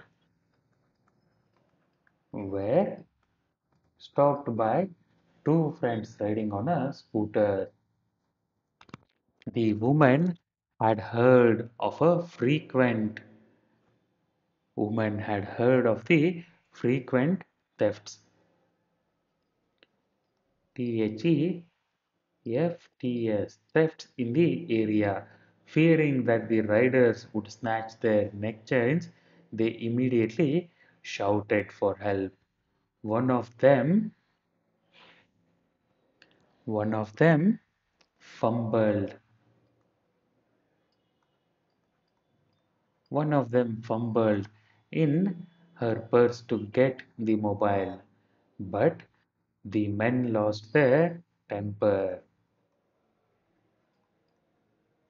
and told them that they were searching for an address. When the woman when the woman glanced at the address, they realized that it was their own. ಅಂತ ಇಲ್ಲಿ ಕತೆ ಮುಗಿಸ್ತೀರಾ? ಸರಿನಾ? ಮುಂದಿನ ಪ್ರಶ್ನೆಗಳು answer in two or three sentences each ಇಲ್ಲಿನ ಮೊದಲನೇ ಪ್ರಶ್ನೆ what you understand from Dhiraj story ಅಂತ ಪ್ರಶ್ನೆ. ಇದಕ್ಕೆ ಉತ್ತರ ಹೇಳಕ್ಕೆ ಹೋಗ್ತಾ ಇದ್ದೀನಿ. ಗಮನ ಕೊಟ್ಟು ಕೇಳಿ. Dhira was a Courageous boy he had a good presence of mind. He was bold and ready to take risks when it is necessary. He was also an intelligent boy. We can understand that we should be as brave as Dheera ಅಂತ ಉತ್ತರ ಬರಿತೀರಾ ಎರಡನೇ ಪ್ರಶ್ನೆ describe the customer who approached Dhira ಧೀರನ ಹತ್ತಿರ ಬಂದಿರ? ಓ ಕಸ್ಟಮರ್ನ ಹೇಗೆ ನೀವು ವಿವರಿಸ್ತೀರಾ ಅಂತ ಹೇಳ್ತಾ ಇದ್ದಾರೆ. ಉತ್ತರ ಹೀಗಿರುತ್ತೆ. The customer who approached Dhira was not at all in a hurry he asked Dhira to polish his shoes nicely. He was wearing a pink shirt and a red tie. He seemed to be a rich man. He was also wearing a wristwatch ಅಂತ ಬರಿತೀರಾ ಮೂರನೇ ಪ್ರಶ್ನೆ how did Dheera polish the customer shoes how did Dheera polish the customer shoes Dheera ಈ customer shoes polish ಮಾಡೋದಕ್ಕಿಂತ just ಮುಂಚೆ ಆ ಆಭರಣದ ಅಂಗಡಿಯಲ್ಲಿ ಆದ ಕಳ್ಳತನದ ಬಗ್ಗೆ ಕೇಳಿದ್ದ? ಇಲ್ಲಿಂದ ಉತ್ತರ ಸ್ಟಾರ್ಟ್ ಆಗುತ್ತೆ. ಗಮನ ಕೊಟ್ಟು ಕೇಳಿ. Even though he was polishing the customer shoes his mind was thinking about the theft he polished his left shoes by smearing some polish from a tin. He was polishing his shoes while he was looking at the shop with the corner of his eye. He saw two policemen approaching. Still, he continued to do the polishing as he felt that the customer would complain about Dheera to the policeman for not doing his job well ಅಂತ ಉತ್ತರ ಬರೀತೀರಾ ನಾಲ್ಕನೇ ಪ್ರಶ್ನೆ why did Dheera concentrate on polishing Dheera was disturbed by the customer's complaint. Dheera, while when Dheera was polishing the customer's shoes, the customer yelled at him and said, Hey boy, you are not doing your job well. So, Dheera thought the customer might complain about this to the policeman going by. So, Dheera started concentrating and put his attention on polishing the customer shoes ಅಂತ ಉತ್ತರ ಬರೀತೀರಾ ಐದನೇ ಪ್ರಶ್ನೆ how was Dheera rewarded and honored for his bravery. Dheera was rewarded by the policeman as well as by the jewelry shop owner, jeweler. Also, Dheera's school has honored him with a medal for his bravery ಅಂತ ಉತ್ತರ ಬರೀತೀರಾ ಮುಂದಿನ ಪ್ರಶ್ನೆ discuss with your partner and answer ಇದರಲ್ಲಿ ಒಂದನೇದು is Dheera's attempt to trap the thief the best one give reasons for your answers ಅಂತ ಇದೆ. ಧೀರ, ಆ ಕಳ್ಳನನ್ನು ಹೇಗೆ ಬಲೆಗೆ ಬೀಳಿಸಿದ ಅದು ಸರಿಯಾಗಿತ್ತ? ಎಲ್ಲಕ್ಕಿಂತ ಚೆನ್ನಾಗಿತ್ತ? ಮತ್ತು ಯಾಕೆ ಅಂತ ಕೇಳ್ತಾ ಇದ್ದಾರೆ. ಇದರ ಉತ್ತರ ಈಗ ಬರಿತೀರಾ? Yes Dhira's attempt to trap the thief was the best one given the circumstances and also because If he had called the police, the thief would have run away one more time and escaped. So he tied the ends of the laces of two shoes of the customer before calling the police. When the customer tried to walk, he fell down. And when he was struggling to get up, Dira already had got the policeman to the spot ಅಂತ ಉತ್ತರ ಬರೀತೀರಾ ಎರಡನೇ ಪ್ರಶ್ನೆ how did Dhira help the police catch the thief Dhira tied the ends of the laces of two shoes of the thief and made him fall when he, when he tried to walk. He was struggling to get up. By then, police had reached the place. Hence, Dheera helped the police catch the thief. ಅಂತ ಉತ್ತರ ಬರೀತೀರಾ? ಮೂರನೇ ಪ್ರಶ್ನೆ do you agree that it takes courage to do the right thing discuss keeping Dhira as an example ಅಂತ ಇದೆ. Do you agree that it takes courage ಸರಿಯಾದ ಕೆಲಸ ಮಾಡಲು ಧೈರ್ಯ ಇರಬೇಕು ಅಂತ ಹೇಳ್ತಾರೆ. ನೀವು ಇದನ್ನ ಒಪ್ಕೋತೀರಾ? ಇದನ್ನ ಧೀರನ ಉದಾಹರಣೆ ಜೊತೆ ನೀವು ಡಿಸ್ಕಸ್ ಮಾಡಿ, ಇದನ್ನ ವಿವರಣೆ ಮಾಡಿ, ಚರ್ಚೆ ಮಾಡಿ ಅಂತ ಹೇಳ್ತಾ ಇದ್ದಾರೆ. ಇದರ ಉತ್ತರ ಹೀಗಿರುತ್ತೆ. ಗಮನ ಕೊಟ್ಟು ಕೇಳಿ. Yes you need a lot of courage to do right thing Dhira was not bothered what would have been the reaction of the customer. But his main objective was to help the police catch the thief and recover the stolen jewelry from the thief. Project work. How do you help your parents after or before school hours? Tell your partner sitting next to you. ನೀವು ನಿಮ್ಮ ಮನೆಯಲ್ಲಿ ನಿಮ್ಮ ತಂದೆ ತಾಯಿಗೆ ಹೇಗೆ ಸಹಾಯ ಮಾಡ್ತೀರಾ ಅಂತ ನೀವು ನಿಮ್ಮ ಗೆಳೆಯರ ಜೊತೆ ಚರ್ಚೆ ಮಾಡಿರಿ. ಎರಡನೇ ಪ್ರೊಜೆಕ್ಟ್ ವರ್ಕ್ ಏನಿದೆ ಅಂದರೆ discuss in the class and know more about courage ಶೌರ್ಯದ ಬಗ್ಗೆ ಚರ್ಚೆ ಮಾಡಿ, ಅದರ ಬಗ್ಗೆ ಇನ್ನಷ್ಟು ತಿಳ್ಕೊಳ್ಳಿ. ನಿಮಗೆ ಇದರ ಬಗ್ಗೆ ಒಂದು ಐದನೇ ತರಗತಿಯಲ್ಲಿ ಒಂದು ಸಂಪೂರ್ಣ ಪಾಠ ಇದೆ. ಅದನ್ನು ನೀವು ಅಭ್ಯಾಸ ಮಾಡಿ. ಬ್ರೇವರಿ ಅವಾರ್ಡ್ಸ್ ಬಗ್ಗೆ ಇರೋ ಒಂದು ಚಾಪ್ಟರ್. ಸರಿನಾ? ಅದ್ರ ಜೊತೆ ನೀವು ಇಲ್ಲಿ ಕೆಳಗೆ ಕೊಟ್ಟಿರೋ ಎರಡು ಪ್ಯಾರಾಗ್ರಾಫ್ಗಳನ್ನು ನೀವೇ ಓದ್ಕೊಂಡು ಅರ್ಥ ಮಾಡ್ಕೊಳ್ಳೋದಕ್ಕೆ ಪ್ರಯತ್ನ ಮಾಡಿ. ನೋಡೋಣ. ವಿಡಿಯೋನ ಪಾಸ್ ಮಾಡಿ ಓದಿ.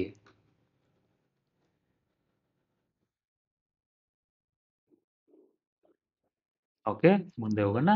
ಗ್ರಾಮರ್ ಇನ್ ಯೂಸ್ ಅನ್ನೋ ಸೆಕ್ಷನ್ ಇದೆ. Read the following sentence my brother went to the market to buy an umbrella from a shop the underlined words are called articles article a ಇಲ್ಲಿ ನೋಡಿ ಎ ಅನ್ನೋ ಈ ಅಕ್ಷರವನ್ನು ನೀವು ಒಂದು ಅಂತ ಸೂಚಿಸೋದಕ್ಕೆ ಹೇಳ್ತೀರಾ? Mango a tree, an ice cream, an apple a ಮತ್ತು ಆ್ಯಂಡ್ ಎರಡು ಒಂದೇ. ಒಂದು ವಸ್ತುವಿನ ಬಗ್ಗೆ ಮಾತಾಡಬೇಕಾದ್ರೆ ನೀವು ಇದನ್ನು ಉಪಯೋಗ್ತೀರಾ? Article a is used before a word beginning with consonant letters sounds like C S T etcetera ಇಂಗ್ಲೀಷ್ನಲ್ಲಿರೋ vowels ಗೊತ್ತು ನಿಮಗೆ? A, E, I, O, U. ಈ ಅಕ್ಷರಗಳಿಂದ ಒಂದು ಶಬ್ದ ಶುರು ಆಗ್ತಿದ್ರೆ ಆ ಶಬ್ದದ ಹಿಂದೆ ನೀವು ಆ್ಯಂಡ್ ಅಂತ ಬರಿತೀರಾ? ಸರಿನಾ? ಇಲ್ಲಿ ಎ ಇದರ ಒಂದಿಷ್ಟು ಉದಾಹರಣೆಗಳನ್ನು ಕೊಟ್ಟಿದ್ದಾರೆ. A car, a flower, a saint, a trick ಅಂದರೆ ಒಂದು ಕಾರ್, ಒಂದು ಹೂವು, ಒಬ್ಬ ಸಾಧು, ಒಂದು ಟ್ರಿಕ್, ತಂತ್ರ article an is used before a word beginning with a vowel sound. Some consonant letters also give vowel sounds. ಸರಿನಾ example an eye an apple an honest man E I O U ಇಲ್ಲಿ H silent ಆಗುತ್ತೆ. An honest man ಅಂತ ಓದ್ತೀರಾ? An honest person ಅಂತ ಓದ್ತೀರಾ? ಆಮೇಲೆ ಯಾವಾಗಲೂ abbreviation ಬರಿಬೇಕಾದ್ರೆ ಎಂ ಎಲ್ ಎ ಈ ಥರ ನೀವು ಬರಿಬೇಕಾದ್ರೆ ಆ್ಯಂಡ್ ಅಂತ ಉಪಯೋಗಿಸ್ತೀರಾ? ಸರಿನಾ? Article the is used before and already mentioned noun with the superlative degree and with common names which are unique. ಉದಾಹರಣೆ the earth the Quran the Times of India the Himalayas the United States of America the Bible the Bhagavad Gita the Ramayana ಹೀಗೆ ನೀವು different different ಸಿನಾರಿಯೋಗಳಲ್ಲಿ the ಅಂತ ಉಪಯೋಗಿಸ್ತೀರಾ ಇದರ ಬಗ್ಗೆ articles ಬಗ್ಗೆ ನಮ್ಮ grammar ಸೀರೀಸ್ನಲ್ಲಿ ಒಂದು full video ಇದೆ. ನೋಡೋದನ್ನ ಮರೆಯೋಕೆ ಹೋಗ್ಬೇಡಿ. ಈಗ ಮುಂದೆ ಫಿಲ್ ಇನ್ ದ ಬ್ಲ್ಯಾಂಕ್ಸ್ ಇದೆ. ಇಲ್ಲಿ ನೀವು ಎ ಆ್ಯಂಡ್ ಇವುಗಳನ್ನು ಉಪಯೋಗಿಸಬೇಕು. ಮತ್ತು the there was a marriage in our village last week the bridegroom the bridegroom and his friends went to went to the village. In an old cart drawn by a old horse.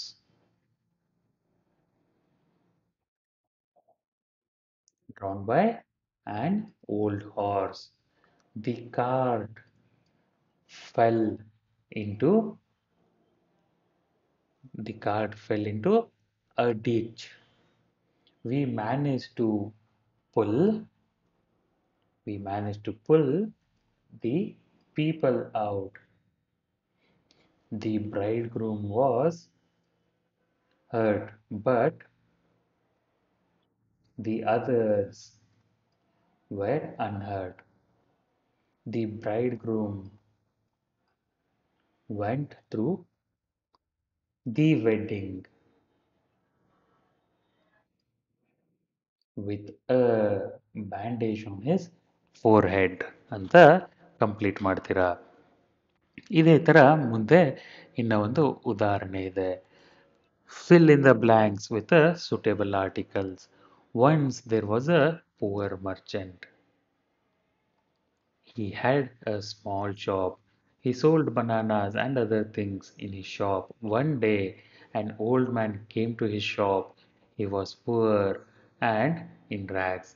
The shopkeeper took pity on him and gave him some money.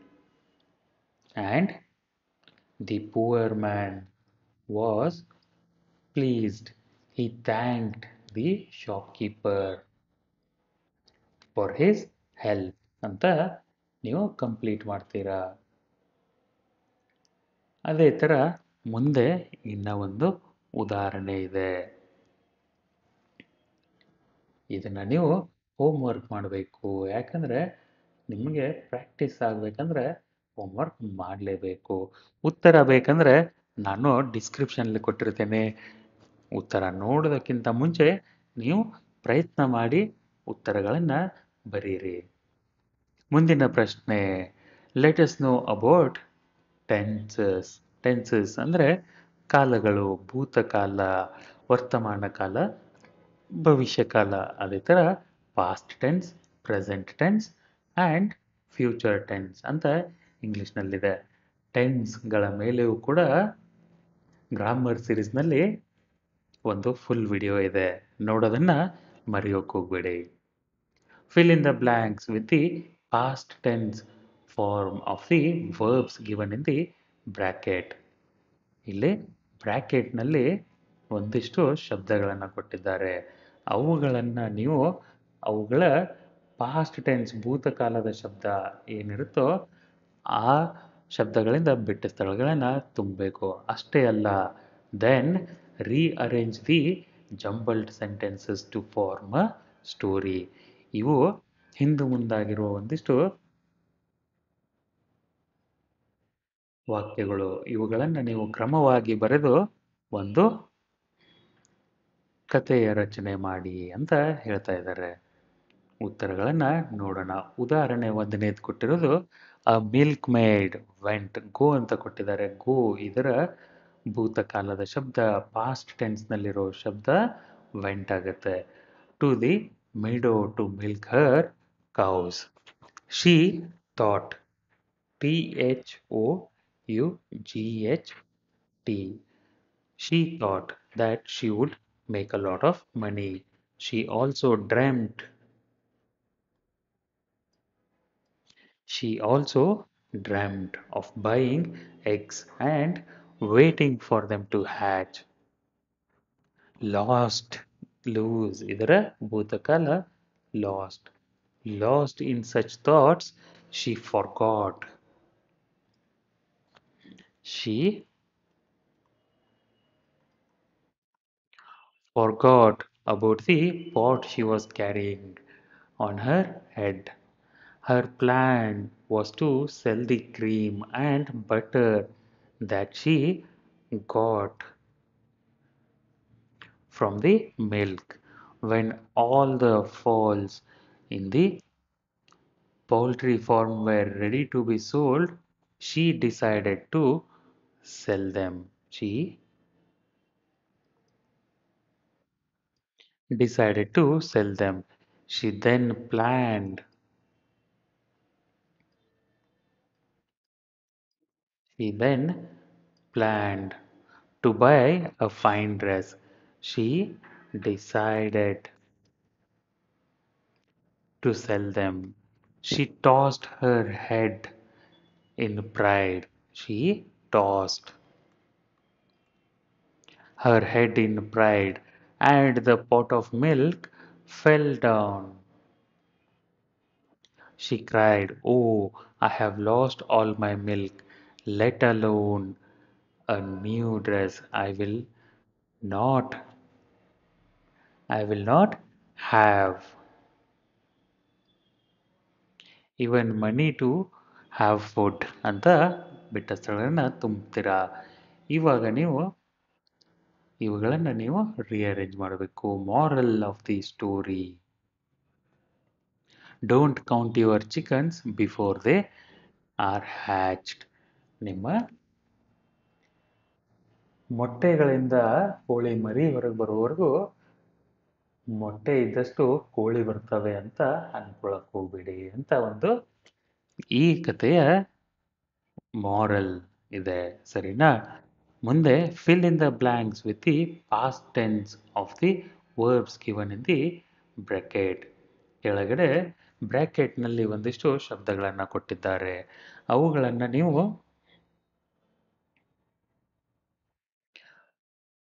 ಅವುಗಳ ಭೂತಕಾಲವನ್ನು ಬಿಟ್ಟ ಸ್ಥಳದಲ್ಲಿ ತುಂಬಬೇಕು once a made M A D E made her nest in a cornfield. Soon she laid L A I D she laid eggs in it.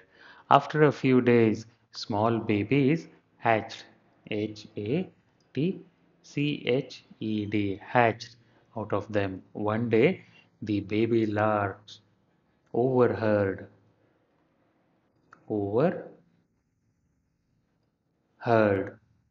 the farmer say, I will call my servants to reap this field.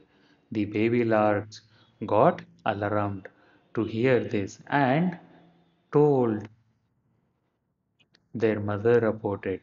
Don't worry, said the mother.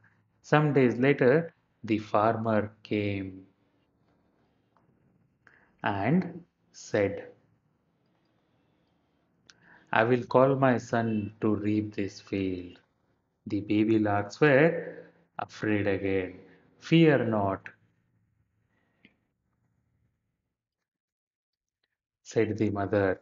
But the next day, the farmer came there and said, I will reap this field tomorrow. Now is the time to go. When a man says he will do the work himself, he will certainly do it, said the mother lark. Moral of the story don't fear hollow threads.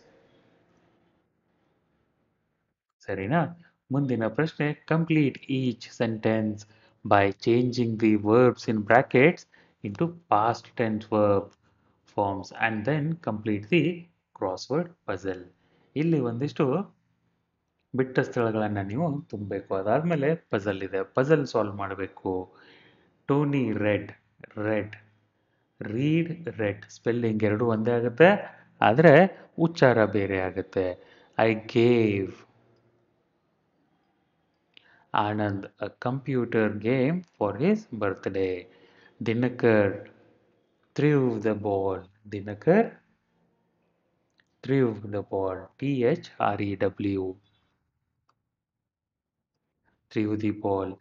Johnny rang the bell after school. He brought his mobile to school. B R O U G H T brought his mobile to school. We drank banana milkshake. We drank banana milkshake. Asha caught C A U G H T caught the ball quickly. Isha wrote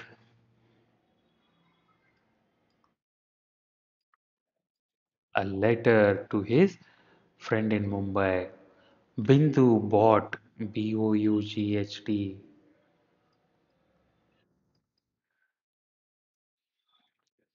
the frightened cat hid. H I D hid. ಅಂತ ಬರಿತೀರಾ ಇವಾಗ ಇವುಗಳನ್ನು ನೀವು ಹೇಗೆ ಇಲ್ಲಿ crossword complete ಮಾಡೋದು ಅಂದರೆ ಇಲ್ಲಿ across ಅಂದರೆ ಅಡ್ಡವಾಗಿ ಬರೆದಿರೋ ಈ ಶಬ್ದಗಳು ಹೀಗೆ ಬರೆದಿರೋ ಅಕ್ರಾಸ್ ಅಂದರೆ ಅಡ್ಡವಾಗಿರೋದು. ಡೌನ್ ಅಂದರೆ ಮೇಲೆಯಿಂದ ಕೆಳಗಡೆ ಬರೆದಿರೋದು. ಉದಾಹರಣೆಗೆ ಅಕ್ರಾಸ್ನಲ್ಲಿ ಮೊದಲನೇದೇನಿದೆ Tony read, the book after dinner ಅಂತ ಇದೆ. ಮೂರನೇದು, ಮೂರನ್ನ ನೋಡಿ. ಅಕ್ರಾಸ್ ಅಂದರೆ ಇಲ್ಲಿ ಕೆಳಗಡೆ ಪಜಲ್ ಬಾಕ್ಸ್ನಲ್ಲಿ ನಿಮಗೆ ಮೂರು ಎಲ್ಲಿದೆ ಇಲ್ಲಿ, ಇಲ್ಲಿಂದ ಸ್ಟಾರ್ಟ್ ಮಾಡ್ತೀರಾ? ಆರ್, ಇ ಎ ಡಿ ಈ ಥರ ಅಡ್ಡವಾಗಿರೋ ಕಂಬಗಳನ್ನು ನೀವು ತುಂಬ್ತೀರಾ? ಅದೇ ಥರ ನೀವು ಡೌನ್, ಡೌನ್ನಲ್ಲಿ ಎರಡನೆಯದು ನೋಡಿ ಏನಿದೆ? ಡೌನ್ನಲ್ಲಿ ಎರಡನೇದು ಕಾಟ್ ಅಂತ ಇದೆ. ಅದನ್ನು ನೀವು ಇಲ್ಲಿ ಮೇಲಿನಿಂದ ಕೆಳಗಡೆವರೆಗೂ ಬರೀತೀರಾ? ಅಂದರೆ C, A, U, G, H, T ಅಂತ ಹೀಗೆ ನೀವು ತುಂಬಿ ಈ ಪಜಲ್ ಬಾಕ್ಸನ್ನು ಕಂಪ್ಲೀಟ್ ಮಾಡ್ತೀರಾ? ಸರಿನಾ? ಮುಂದಿನ ಪ್ರಶ್ನೆ ರೈಟಿಂಗ್ ಪ್ರಾಕ್ಟೀಸ್ ಇದೆ. Read the instructions given in each box and complete the boxes ಅಂತ ಇದೆ.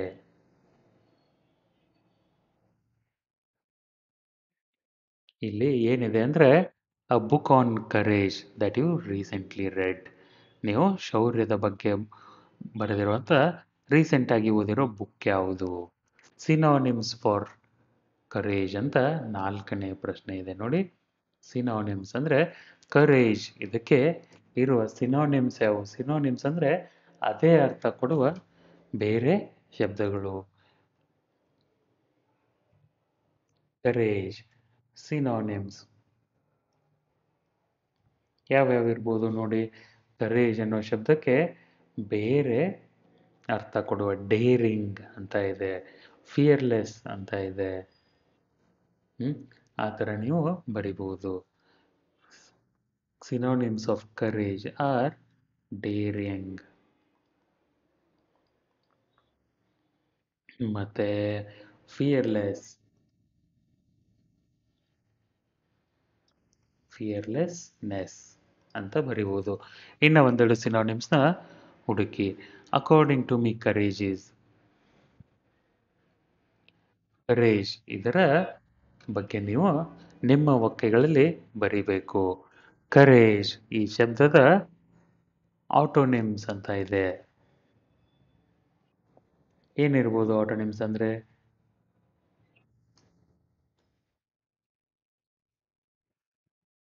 ಆಟೋನಿಮ್ಸ್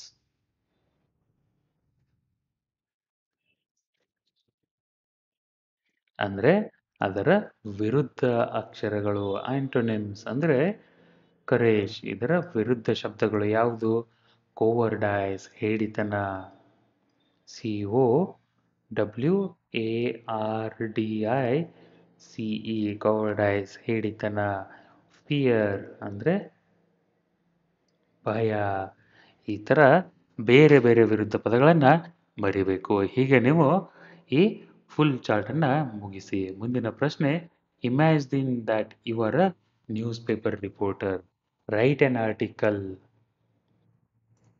on on act of bravery you have witnessed ನೀವು ಒಬ್ಬ ನ್ಯೂಸ್ ರಿಪೋರ್ಟರ್ ಅಂತ ಅಂದ್ಕೊಂಡು ನೀವು ಇವಾಗಲೇ ನೋಡಿರುವ ಒಂದು ಶೌರ್ಯದ, ಶೌರ್ಯ ತೋರಿಸುವಂಥ ಒಂದು ಘಟನೆಯ ಬಗ್ಗೆ ಒಂದು ನ್ಯೂಸ್ ರಿಪೋರ್ಟನ್ನು ಆರ್ಟಿಕಲನ್ನು ಬರಿಬೇಕು. ಮುಂದಿನ ಪ್ರಶ್ನೆ read the lesson carefully and make a list of main incidents that happen in the story one is done for you ಈ ಕಥೆಯನ್ನು ನೀವು ಮತ್ತೆ ಓದಿ, ಈ ಕಥೆಯಲ್ಲಿ ಬರುವ ಒಂದಿಷ್ಟು ಇನ್ಸಿಡೆಂಟ್ಸ್ ಮೇನ್ ಇನ್ಸಿಡೆಂಟ್ಸ್ ಅಂದರೆ ಘಟನೆಗಳನ್ನು ನೀವು ಒಂದೊಂದಾಗಿ ಬರಿಬೇಕು. ಏನೇನಿದೆ ಘಟನೆಗಳು? ಒಂದೆದ್ದು ಕೊಟ್ಟಿದ್ದಾರೆ. One evening Dhira overheard that a thief had escaped with a jewel. Eranedu, a customer came to Dhira and asked him to polish his shoes. Murnedu, when Dhira was polishing his shoes, he saw two policemen approaching. Nalknedu, the customer ordered Dhira to polish his shoes till they shine. Dhira thought the customer was an influential man ಅನ್ನೋದು ಇನ್ನೊಂದು ಐದನೇದು ಬರಿಬೋದು ಆರನೇದು Dhira found something sticking out of the customer shoes ಏಳನೇದು Dhira bend and took a closer look at the object sticking out of the customer shoes. Dheera tied the two laces together of two shoes. Dheera ran to the police. The gold necklace was found in the customer's shoes and his beard were found in his pocket ಅಂತ ನೀವು ಉತ್ತರಗಳನ್ನು ಬರೆದು complete ಮಾಡ್ತೀರಾ ಕೆಳಗಡೆ ಒಂದು study the pictorial story and write the story in the space provided ಇದೊಂದು ತೆನಾಲಿರಾಮನ ಕತೆ ಇದನ್ನು ನೀವು ಬರಿಬೇಕು ಹೇಗೆ ಬರೀತೀರಾ Tenali Rama and his wife that as thieves were around the place, they would put all the jewels in the trunk. Later, his wife, he put the box with the stone into the well. Later, his wife, he filled the box with stones and threw it in the well ಬಾವಿಯಲ್ಲಿ ಈ ಒಂದು ಡಬ್ಬಿಯನ್ನು ಎಸಿತಾರೆ. The thieves happily started drawing the water to empty the well the thieves happily started drawing the water to empty the well so that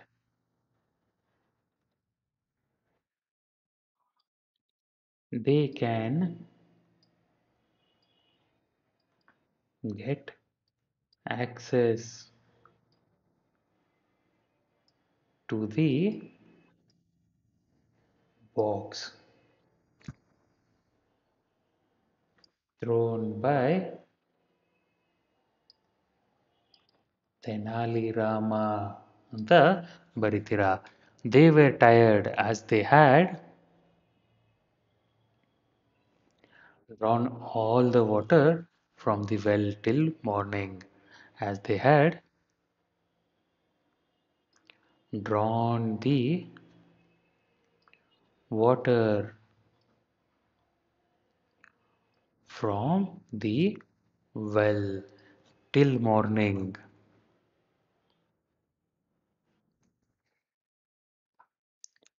They brought the box from the well.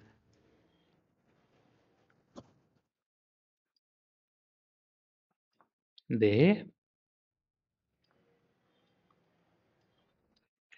brought the box from the well. And found that it was filled with stones.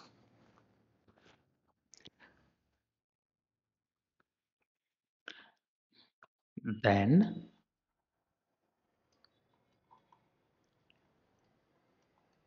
Tenali Rama came and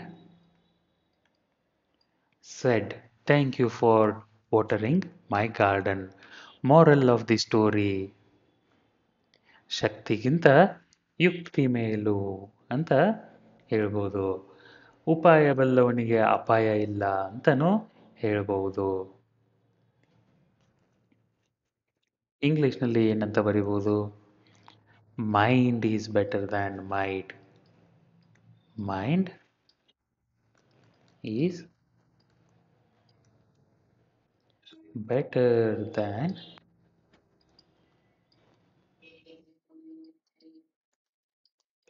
might ಅಂತ ಬರಿಬೋದು. ಇಲ್ಲ ಅಂದ್ರೆ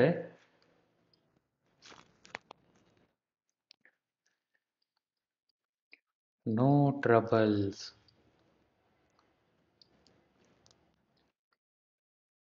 to those who know tricks. ಅಂತನೂ ಬರಿಬಹುದು. Okay ಇಲ್ಲಿಗೆ ಈ activity ಮುಗೀತು. ಮುಂದೆ ಒಂದು ಡೈಲಾಗ್ ಇದೆ. ಇದನ್ನ ನೀವು ನಿಮ್ಮ ಗೆಳೆಯರ ಜೊತೆ ಪ್ರಾಕ್ಟೀಸ್ ಮಾಡಬೇಕು. Dialogue practice is a homework ಯಾಕಂದ್ರೆ ಇಲ್ಲಿ ಇಬ್ರು ಬೇಕಾಗ್ತಾರೆ.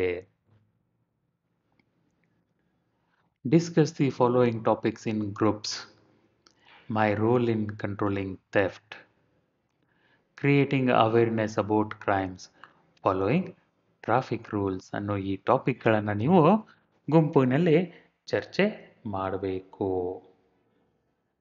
ಮುಂದೆ ಇನ್ನೊಂದಿದೆ. ಏನಿದೆ role play imagine that You are the reporter of some well known newspaper. You have heard about Dhira's courage shown in catching the thief. You want to report this to your newspaper, and through this, you want to inspire many young ones. You may act as the reporter and your friend as Dhira. Interview him in front of your classmates and then fill up the blanks. ಇಲ್ಲೇನಂದ್ರೆ ನೀವು ಒಬ್ಬ news reporter ಆಗಬೇಕು, ಇನ್ನೊಬ್ಬ ಗೆಳೆಯ ಧೀರನ ಪಾತ್ರ ವಹಿಸ್ಬೇಕು. ನೀವು news reporter ಆದವರು ಧೀರನನ್ನ ಇಂಟರ್ವ್ಯೂ ಮಾಡ್ತೀರಾ? ನಡೆದ ಘಟನೆ ಬಗ್ಗೆ ಏನಂತ ಇಂಟರ್ವ್ಯೂ ಮಾಡ್ತೀರಾ? ನೀವು ಸ್ಟಾರ್ಟ್ ಮಾಡ್ತೀರಾ? ರಿಪೋರ್ಟರ್ ಆದವರು ಕೇಳ್ತಾರೆ ಹಲೋ ಧೀರಾ ಹವರ್ ಯು ಅಂತ. ಅದಕ್ಕೆ ಧೀರ ಹೇಳ್ತಾನೆ I am fine sir thank you ಅಂತ. ರಿಪೋರ್ಟರ್ ಮತ್ತೆ ಮುಂದಿನ ಕ್ವಶನ್ ಕೇಳ್ತಾನೆ ಅವನಿಗೆ. ಏನಂತ? How did you manage to get the thief caught ಅಂತ ಕೇಳ್ತಾರೆ ಅದಕ್ಕೆ ಧೀರ ಹೇಳ್ತಾನೆ sir I saw a necklace sticking out of the person's shoe, of whom I was shining the shoes. So, I took a closer look. and it was a necklace hidden in the shoes. I immediately thought that it must be a necklace stolen by the thief and the person who is getting his shoes polished by me was a thief. So I tied his shoes ಅಂತ ಹೇಳ್ತಾನೆ shoe laissez ಅಂತ ಮತ್ತೆ reporter ಮುಂದೆ question ಕೇಳ್ತಾನೆ ಏನಂತ reporter ಮುಂದಿನ ಪ್ರಶ್ನೆ ಧೀರನಿಗೆ Dheera how you are like no very sure about the person was a thief ಅಂತ ಹೇಳ್ತಾನೆ ಅದಕ್ಕೆ ಧೀರ ಹೇಳ್ತಾನೆ after the person saw the police man he stated that he was in hurry to go but before the policeman approaching he had said that he is in no hurry Dheera can take all the time ಅಂತ ಹೇಳ್ತಾರೆ. ಇದೇ ಥರ ನೀವು ಒಂದಿಷ್ಟು ಪ್ರಶ್ನೆಗಳನ್ನು ಧೀರನಿಗೆ reporter ಆದವರು ಕೇಳಬೇಕು. ಧೀರ ಅದಕ್ಕೆ ಇಂಗ್ಲಿಷ್ನಲ್ಲಿ ಉತ್ತರ ಕೊಡ್ತಾನೆ. ಸರಿನಾ? ಈ ಕೆಳಗೊಂದು ಇಂಟ್ರೆಸ್ಟಿಂಗ್ ಸ್ಟೋರಿ ಇದೆ. ಇದನ್ನ ನೀವು ಓದಿ ಅರ್ಥ ಮಾಡ್ಕೊಳ್ಳೋದಕ್ಕೆ ಪ್ರಯತ್ನ ಮಾಡಬೇಕು. Practice is also very important ಎಲ್ಲನೂ ನಾನು ಓದಿ ಓದಿ ಹೇಳಿ ನಿಮಗೆ ಅರ್ಥ ಮಾಡಿಸಿದ್ರೆ ನಿಮಗೆ ಓದೋ ಪ್ರಾಕ್ಟೀಸ್ ಅರ್ಥ ಆಗಲ್ಲ. ಬರೀ ಕೇಳಿ ಅಂಡರ್ಸ್ಟ್ಯಾಂಡ್ ಮಾಡ್ಕೊಳ್ಳೋದಷ್ಟೇ ನೀವು ಇಂಪ್ರೂವ್ ಆಗ್ತೀರಾ. ಆದರೆ ಓದಿ ಅಂಡರ್ಸ್ಟ್ಯಾಂಡ್ ಮಾಡ್ಕೊಳ್ಳೋದು ಕೂಡ ಒಂದು ಆಕ್ಟಿವಿಟಿ ಇಂಗ್ಲಿಷ್ ಹಾಗೆಯೇ ಇಂಪ್ರೂವ್ ಆಗುವುದು ಕೊನೆಗೆ ಒಂದು ರಿಡಲ್ ಇದೆ ಒಗ್ಗಟ್ಟಿದೆ ಇದನ್ನು ಕೂಡ ನೀವು ಸಾಲ್ವ್ ಮಾಡೋದಕ್ಕೆ ಪ್ರಯತ್ನ ಮಾಡಿ. ಉತ್ತರ ನೋಡೋದಕ್ಕಿಂತ ಮುಂಚೆ ಸರಿನಾ?